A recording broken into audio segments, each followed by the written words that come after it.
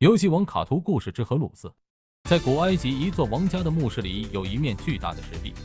那上面雕刻的是有关于法老的守护神荷鲁斯以及其四个儿子的形象。荷鲁斯之黑炎龙，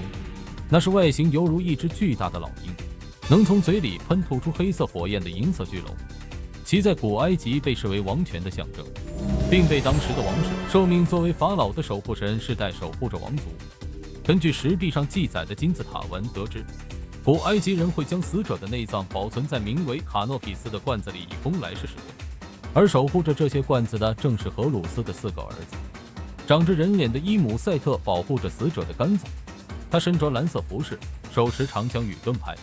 其象征的是荷鲁斯的荣光，代表南方。长着狒狒头的哈毕保护着死者的肺，他身着绿色服饰，手持棍棒。其象征的是荷鲁斯的先导，代表北方；长着胡狼头的多姆泰夫保护着死者的胃，他身着紫色服饰，手持弓箭，其象征的是荷鲁斯的祝福，代表东方；长着鹰隼头的凯布山纳夫保护着死者的肠，他身着棕色服饰，手持法杖，其象征的是荷鲁斯的加护，代表西方。四位神奇在阴间侍候着已经死去的国王，他们会为其清洗面部。打开嘴巴，消除饥饿与口渴。以上信息就是记载在石壁上关于荷鲁斯以及王之冠的全部内容。